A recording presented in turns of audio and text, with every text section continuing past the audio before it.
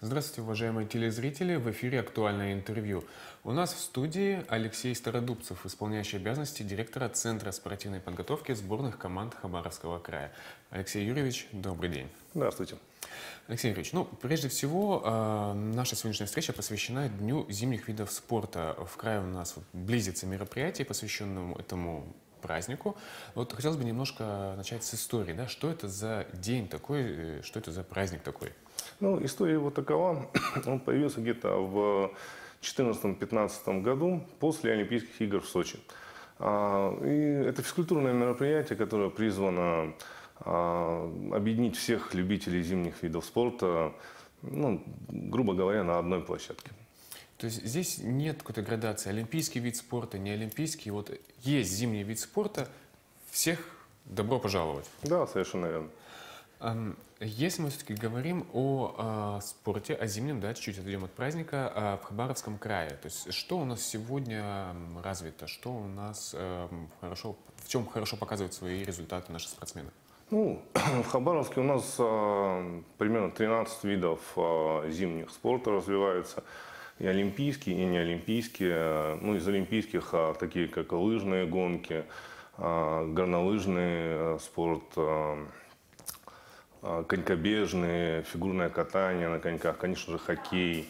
А, не олимпийские виды спорта, это ездовой спорт, например, а, северное многоборье. Очень сильные спортсмены в спортивном ориентировании. Хоккей с мячом, опять же. Ну, у нас, я так понимаю, есть еще и олимпийские чемпионы, потому что в том числе у нас есть э, и соревнования э, Юлии Чапаловой, да, по, по лыжам, да, да, до сих пор продолжаются, да? да То есть наши спортсмены достойно выступают. Наши спортсмены в лыжных гонках выступают а, очень достойно. Ну вот из ближайших примеров а, ребята выиграли полностью ДФО и в командном зачете, и в личном зачете медали, и а, золотые, и бронзовые. Эстафеты обе выиграли. А, Все пьедесталы забрали. Да, очень удачно выступили. А, недавно нашу спортсменку Болоневу Алену а, вызвали в сборную. Она участвовала в международных соревнованиях в Беларуси, в Раубиче. Заняла, к сожалению, четвертое место, там небольшая техническая. Четвертое, я думаю, здесь, наверное, это, это хорошо. Это, это неплохой результат. Это очень хорошо на самом деле. А, если мы говорим в целом, да, у тех, кто занимается спортом, понятно, что те, кто берут там призовые места, становятся победителями на различных уровнях, в том числе российских, международных, это, ну, они стимулируют ребят да, заниматься. Но в целом, насколько широк у нас охват а, тех, кто м, занимается тем или иным видом зимнего спорта? Ну, смотрите, у нас порядка 20 тысяч а, людей занимается зимними видами спорта. А, чуть больше половины от этого количества – это олимпийские виды спорта. У нас а, открыто отделение в а, спортивных школах в крае. У нас на самом деле есть базы для лыж, для хоккея, хоккея с мячом. Ну, довольно большое количество на самом деле. То есть у нас получается такая выстроенная работа, да, если мы говорим в, том, в первую очередь про олимпийские виды спорта, э, спортивные школы, да, то есть начиная со школьной скамьи и далее, далее, далее по мере роста результата. Это у нас безусловно. имеется. Да, безусловно. А, а вот все-таки 20 тысяч человек, более 20 тысяч, угу. Что, вот, на ваш взгляд, привлекает? Чем зимние виды спорта притягивают? Ну, казалось бы, зима, холод. Не каждый вид спорта проходит, э, например, в аренах, да, как мы говорим, тот же хоккей с мячом. Чем манит? Ну, на самом деле мы живем а, в зимнем краю. А, опять же, хоккей с мячом, вот вы приводите пример, они не так давно играли, все на, все, ну, да, все на улице играли. Да, то есть и взрослые, и дети, и 10 лет назад детские соревнования. Да, не сейчас проводятся на самом деле, на некоторые соревнования проводятся на открытом льду. Ну, это же на самом деле очень увлекательно мне кажется, довольно прикольный вид спорта. Есть, когда адреналин захватывает, ты уже не чувствуешь холода, вот это когда тебя греет спортивный азарт изнутри. На самом деле, да. Ну, попробуйте сами на лыжах пробежаться 5 километров. А вам сначала будет как-то прохладно, там, некомфортно, а под конец вам будет уже очень жарко, и когда закончите дистанцию, вам будет комфортно совершенно, и даже казаться, что действительно жарко. Э, мы немножко затронули тему наших успехов, да, а, ребята привели несколько примеров. А можем ли мы выделить какие-то направления спорта, где наши спортсмены традиционно сильны или, может быть, стали сильнее, да, поднялись на новую ступень, может быть, за последний период времени? Ну, смотрите, сильнее мы становимся из года в год, конечно же. Это радует. Это радует, безусловно. Э, пример э, лыжные гонки, то есть у нас ребята прям растут. А, традиционно сильны э, спортсмены-ориентировщики, спортивное ориентирование. А вот эти ребята, ну, можно сказать, что они чемпионы всего. То есть у них есть все регалии, начиная от Кубков мира, Европы, первенств, чемпионатов мира, Европы, чемпионатов России – Дальневосточного федерального округа. У них есть все награды. Как, как вот такого добились? То есть, ну, не отправляйте же их просто там, из Хабаровска в Комсомольскую пешком по карте, э, чтобы они тренировались?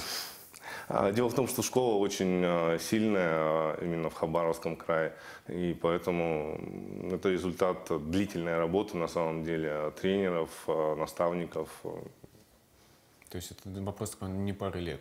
Ну, это вопрос, безусловно, не пара лет. В данном случае это вопрос а, десятилетий, там уже поколениями а, люди а, работают, тренируют, и уже их дети выигрывают соревнования различные. Что касается других видов спорта, может, ну, не знаю, с фигурное катание, да, тоже ребята занимаются. Вот здесь как мы?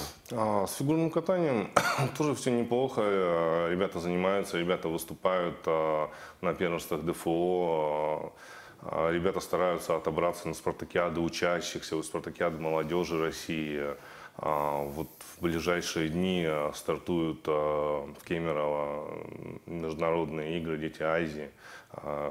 Опять же, через несколько недель стартует спартакиада молодежи. Вот вы отметили о том, что край зимний, поэтому ну, логично, что зимние виды спорта любят. Но все-таки у нас э, не настолько он зимний, чтобы круглый год, да, зима стояла, есть у нас и достаточно теплое лето. Как вот э, в межсезонье какая-то работа ведется тоже с ребятами, или они спокойно уходят на каникулы, или, может, просто физическую подготовку тренера? Ну, безусловно, в межсезонье это, как и у летних видов спорта зимой, а у зимних видов спорта это вначале небольшой отдых и а, потом подготовка к сезону. Предсезонные сборы, а, тренировки. Где-то в нашей стране снег выпадает гораздо раньше, чем у нас. Мы командируем наших... То есть мы а, переезжаем, да, соответственно? Да, наш, на, нашу первую команду, наших основных спортсменов мы, конечно, командируем для участия в тренировочных мероприятиях где-нибудь, например, в Якутии. То есть такое межрегиональное сотрудничество, оно у нас налажено в том плане? Ну, безусловно. Эм, что касается, опять же, развития спорта, в частности, вот мы сейчас немножко косвенно затронули, да, что мы уезжаем в другие регионы. А, есть у нас какие-то сложности а, в крае, с, может быть, ну, если не с поддержкой, может быть, какой-то с базами, да, с материальным обеспечением, или как мы вот в этом существуем? Ну, сложности есть всегда и у всех. А у нас а, сложностью может быть, может быть история, начиная с погоды, очень холодная, как была несколько э, недель назад. Или вот, э, бесснежно несколько лет назад, что лыж, лыжники наши сидели. Да, совершенно верно. Мы отправляли первую команду в другие регионы, чтобы они могли как-то тренироваться. А, то есть вот а, такого рода проблема. Мы очень ждем открытия близ Хабаровска горнолыжной трассы новой. А, на данный момент мы проводим, конечно, мероприятия на Халдами. А, мы провели э, ДФО, э, и мы провели э, чемпионат первенства края. А, соответственно, все, конечно, неплохо, но там тоже бывает бесснежно, бывает прохладно. Ну и опять же, я так понимаю, две трассы, они явно лучше, чем одна, как минимум можно разнообразить маршруты, и спортсменам от этого только будут выигрывать. Безусловно. А, если мы говорим э, о, ну, вот мы сейчас проговорили, да, что сложности у нас, как правило, ну, носят такой характер, чаще всего именно связанные с климатическими особенностями. Да. Остальное, в принципе, оно, как я понял, решаемо, ну, либо сейчас, либо в обозримом каком-то будущем. Э, в целом, какие-то у нас есть, э, про, ну, может быть, планы, да, по развитию, там, шаги, которые уже выстроены, как мы будем развивать, может быть, олимпийские или не олимпийские виды спорта? А мы их развиваем. А у нас есть, опять же, я повторюсь, что у нас открытое отделение в спортивных школах. А спортивные школы командируют наших а, спортсменов за пределы а, края на тренировочные мероприятия. Довольно много тренировочных мероприятий. Подводящие мероприятия к основным стартам, то есть чемпионатам России, люди 20, 21 день сбора могут получить за пределами края. Ну, именно там, где они будут соревноваться, потому что разница во времени тоже имеет огромное значение. Ну, привыкнуть не надо. Да. А вот, э, ну, когда погодные условия не позволяют, нам приходится людей возить. Иногда базы нету, и погодные условия не позволяют. То есть, допустим, конькобежцы у нас тренируются э, довольно часто э, за пределами края. Ну, здесь то, что нет именно площадки, да? А площадка, допустим, даже если есть площадка, то порой очень холодно тренироваться. А все соревнования, как правило, проходят в закрытых помещениях, поэтому основные старты, такие как первенство России, э, они проходят в закрытых помещениях. А вы несколько раз отметили, что мы уезжаем в другие регионы, там готовиться, да, или в каких-то видах спорта мы сильны традиционно на уровне России. К нам приезжают спортсмены из других регионов, где-то опыта поднабраться, где-то потренироваться? О, безусловно. Опять же, если мы говорим про ориентирование, у нас люди приезжают а, уже традиционно три года. А мы проводим Кубок России, там, а, первенство России по спортивному ориентированию. Люди приезжают, учатся у наших спортсменов, опять же, проводится у нас довольно большое количество, ну, не только по зимним видам спорта, крупных мероприятий. И мы часто собираем сильнейших спортсменов страны у себя в Хабаровске. Есть что показать, есть чем удивить. Безусловно. Если мы немножко вернемся к началу да, нашего разговора, это День зимних видов спорта. Сейчас немножко узнали да, о том, что у нас за виды спорта. Как будем праздновать? Что у нас запланировано? Чем удивим? 12 числа, в воскресенье, у нас а, центральное мероприятие на стадионе имени Ленина, а, народный каток, а, мастер-классы от фигуристов, от хоккеистов с мячом, от хоккеистов, а, разные зимние активности. То есть мы зовем всех, всех приглашаем, от детей, от мала до велика, чтобы отпраздновать с нами этот замечательный праздник. И 11 числа, э, опять же, пользуясь моментом, можно пригласить э, всех на лыжню России. Тоже зимний вид спорта, лыжи, массово, очень большая гонка э, во, во, во всех наших городах Хабаровском крае, в центральных состоится. Давайте немножко напомним о лыжне России. У нас там, насколько я помню, нет требования о спортивной подготовке, да? То есть как кто может прийти, как заявиться? Там э, могут заявиться все. А, есть разные дистанции, э, могут заявиться все. Единственное, что у всех должна быть э, медицинская справка о том, что они могут заниматься физической культурой и спортом. Угу. И все. То есть нет противопоказаний физической Да, культуре? нет противопоказаний к занятиям физической культурой и спортом. И могут стартовать, прийти где-то взять лыжи в прокат, прийти со своим инвентарем, им выдадут номер, и они примут участие в самой массовой гонке в России.